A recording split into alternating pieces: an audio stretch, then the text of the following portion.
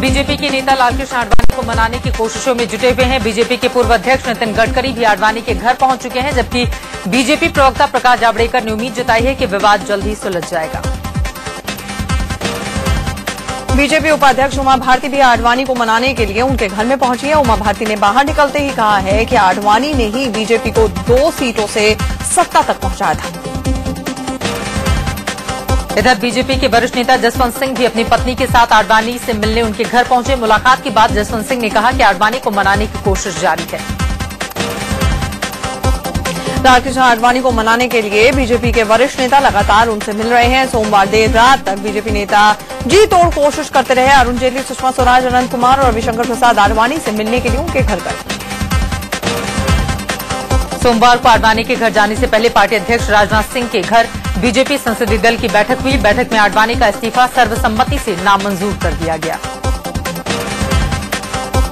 सोमवार दोपहर करीब साढ़े ग्यारह बजे लालकृष्ण आडवाणी ने चौदह लाइन की एक चिट्ठी भेजकर अध्यक्ष राजनाथ सिंह को अपना इस्तीफा सौंपा। आडवाणी ने अपना दर्द बयां करते हुए साफ़ साफ़ लिखा था कि इस चिट्ठी को मेरा इस्तीफा समझा जाए।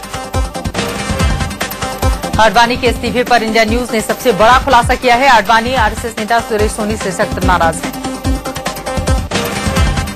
स्पॉट फिक्सिंग के आरोपों में जेल की हवा खा रहे श्रीशंत और अंकित समेत सभी 19 लोगों को आज बाहर की हवा नसीब होगी। आज किसी भी वक्त इन लोगों को तिहाड़ जेल से रिहा किया जा सकता सट्टेबाजी के आरोप में आईपीएल से सस्पेंड किए गए राज कुंद्रा ने बीसीसीआई के अधिकारियों पर निशाना साधा है। कोयला घोटाले में कांग्रेस सांसद और उद्योगपति नवीन जिंदल की मुश्किलें बढ़ गई हैं। सीबीआई ने उनके खिलाफ एफआईआर दर्ज कर ली है। सीबीआई ने जिंदल स्टील के दिल्ली हैदराबाद के करीब पंद्रह दफ्तरों पर छापे मारे। दिल्ली में आज उद्योग भवन से केंद्रीय सचिवालय रूट पर मेट्रो सुरंग में डेढ़ घंटे तक मेट्रो अटकी रही तकनीकी खराबी के चलते मेट्रो टनल में ही रुक गई थी। महाराष्ट्र में आज पृथ्वीराज चौहान मंत्रिमंडल में एनसीपी के नए मंत्रियों को शामिल किया जाएगा। इंडिया न्यूज़ के सूत्रों के मुताबिक आज एनसीपी कोटे के चार मंत्रियों को शपथ दिलाई जाएगी। कोंडा तेरे हत्याकांड केस में सीबीआई राजा भैया का पॉलीग्राफ टेस्ट कराना चाहती है लेकिन आज राजा भैया सीबीआई कोर्ट नहीं पहुँचे। मुंबई में भारी बारिश के बीच माहिम इलाके में एक पाँच मंजिला इमारत का एक हिस्सा गिर गया। इस हादसे में पाँच लोगों की मौत हो गई। एनसीआर समेत उत्तर पश्चिम भारत में गर्मी झेल रहे लोगों के लिए राहत भरी खबर है। मौसम वैज्ञानिकों की माने तो एनसीआर में मानसून में मानसून 20 जून तक पहुँच जाएगा। गुड़गांव पुलिस ने एक मॉल में अवैध रूप से चल रहे एक हुक्का बार पर छापा मारा है। इस छापेमारी के दौरान कई लोग हुक्के का कश लेते हुए पकड़े गए। प्रतिबंध के बावजूद भी गैर कानूनी तौर पर यहाँ पर हुक्का बार चलाया जा रहा था। चैंपियंस ट्रॉफी में आज टीम इंडिया का सामना वेस्टइंडीज से होगा। दोनों टीमें अपना पहला मैच जीत चुकी हैं। ये मैच ओवल में दोपहर तीन बजे से खेला जाएगा। चैंपियंस ट्रॉफी में साउथ अफ्रीका ने पाकिस्तान को सड़सठ रन से हरा दिया है। साउथ अफ्रीका के 235 रनों के लक्ष्य का पीछा करते हुए उतरी पाकिस्तानी टीम सिर्फ़ एक सौ सड़सठ रन ही बना सकी।